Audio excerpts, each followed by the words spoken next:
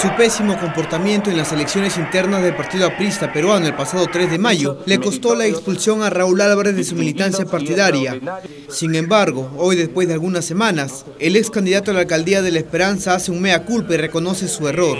Disciplina, donde tendrán que evaluar todos los actuados y cuál fue el motivo de esta reacción de repente equivocada por las cuales ya he pedido disculpas y lógicamente hoy día con el respaldo de nuestro electo secretario general regional, yo creo que va a ser la pena la sanción moderada, una amonestación que me va a permitir estar activo. Álvarez sostiene que la decisión del Tribunal de Ética y Moral fue demasiado drástica y por ello solicitará a la dirigencia del partido de Haya de la Torre meditar tal decisión y aplicarle otra sanción disciplinaria. Eh, yo creo que la expulsión siempre fue solamente para los traidores y yo no he cometido ningún acto de esa naturaleza.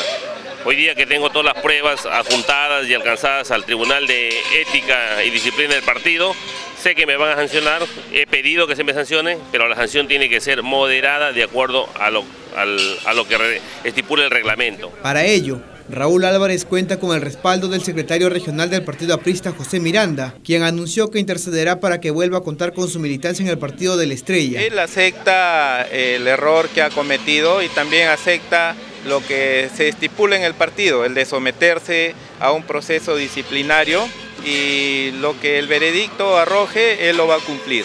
Pero desde ya queremos rescatar eh, sus cualidades, sobre todo positivas, que las tiene. Como... De esta manera, Miranda y Álvarez limaron algunas diferencias tras el proceso interno del pasado 3 de mayo.